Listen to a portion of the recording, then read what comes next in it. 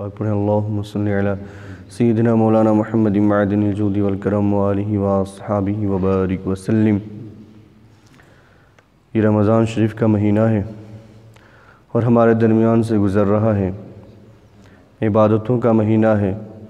ख़ास तौर से फजर की नमाज़ अगर हम आ कर के जमात से अदा कर लें तो अल्लाह सुबहानहु व तआला ने इस पर बहुत ही ज़्यादा सवाब रखा है।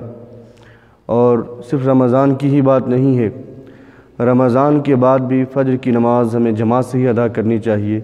ये वो वक्त है और टाइम है जब अल्लाह सुबहानहु व तआला अपने बंदों के हिस्से का रिज़्क ज़मीन पर उतारता है।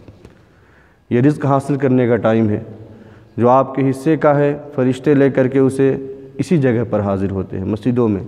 अगर कोई सोया रह गया अपने घर में, अपने बिस्तर में है, तब उसका रिस्क उसका वापस ही चला जाता है। बस उससे वही मिलता है जो दिन भर वो मेहनत करता रहता है, भागता रहता है, दौड़ता रहता है। उसके हिस्से में सिर्फ़ वही आता है। और उसमें से भी जो बरकत है, वो बरकत उठा ली जाती है। बरकत नहीं रहती है। अल्लाह के रसूल सल्लल्लाहु अलैहि वसल्लम की हदीस पाक है, मन सल्ला सुबह फ़ी जमातिन फ़हुआ फ़ी ज़िम्मतिल्लाह। जिसने फ़ज्र की नमाज़ जमात के साथ अदा कर ली वह अल्लाह सुबहानहु व तआला की ज़िम्मेदारी में है। जिसकी ज़िम्मेदारी अल्लाह सुबहानहु व तआला ले ले, उसे कौन तकलीफ़ दे सकता है? उसे किस चीज़ की कमी हो सकती है? अल्लाह तबारक व ताली उसकी ज़िम्मेदारी उठाने के लिए तैयार है। तो आप फ़ज्र की नमाज़ जमात के साथ अदा कर लें। अल्लाह के रसूल सल्लल्लाहु अलैहि वसल्लम के हदीस पाक है। हुजूर ने इरशाद फरमाया इन अफ़ल सलातिन अलमुनाफ़िकीन सलातुलशाई व सलातुलफ़ज्र वलौ यालमून माफ़ीहिमा लअतौहुमा वलौ हबवन। मुनाफिकीन पर सबसे भारी नमाज़ ईशा और फजर की नमाज़। ये बहुत ही भारी है। दिन भर तो वह दिखाने के लिए नमाज़ पढ़ लेते हैं, आ जाते हैं। लेकिन जब ईशा की नमाज़ होती है, जब फजर की नमाज़ होती है तो उनके लिए आना बड़ा मुश्किल होता है। ईशा की नमाज़ जो है वह खा करके सोने का टाइम है। फजर की नमाज़ जो है, वो नींद लेने का टाइम है। तो इसलिए इन नमाज़ों में हाज़िर होना मुश्किल होता है। तो अल्लाह के रसूल सल्लल्लाहु अलैहि वसल्लम ने इशात फरमाया कि ये नमाज़ें उन पर भारी है।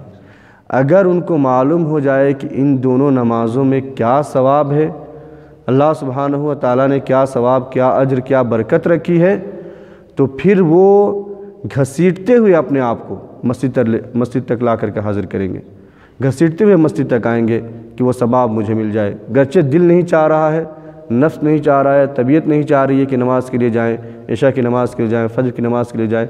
लेकिन सवाब इतना ज़्यादा है, अल्लाह तबारक व ताली ने अजर इतना ज़्यादा रखा है कि आदमी अपने आप को घसीटता हुआ लेकर के मस्जिद तक आ जाए। अल्लाह सुबहान व ताली इतना सवाब रखा है। और इसी हदीस में हुजूर ने फरमाया था कि जो लोग नमाज़ों के लिए हाज़िर नहीं होते इन नमाज़ों के लिए, मेरा दिल चाहता है कि मैं मुअज़िन से कहूँ कि अज़ान दे, नमाज़ खड़ी करे और अपने साथ चंद लोगों को लेके जाऊँ और मेरे साथ लकड़ियों का गट्ठर हो और मैं जा कर के उन लोगों के घरों में आग लगा दूँ जो इन वक्तों में नमाज़ के लिए मस्जिद में हाज़िर नहीं होते हैं। अल्लाह के रसूल सल्लल्लाहु अलैहि वसल्लम रहमतुल्लिल आलमीन है। उनके दिल में इतनी सख्ती कभी नहीं रही। लेकिन इन नमाज़ों को लेकर के अल्लाह के रसूल सल्लल्लाहु अलैहि वसल्लम इतने सख्त थे कि फरमाते हैं कि अगर ऐसा होता तो मैं जाकर के घरों में आग लगा देता। लेकिन मुझे औरतों और बच्चों का ख्याल आता है। तो इसलिए इन नमाज़ों का ख़ास ख्याल रखें और जमात के साथ ये नमाज़ें अदा करें। अपने आप को यूज़ टू करें, आदत बनाएँ कि आपकी नमाज़ें जो है, ख़ास तौर से फ़जर और इशा की मस्जिद में आकर के अदा हों।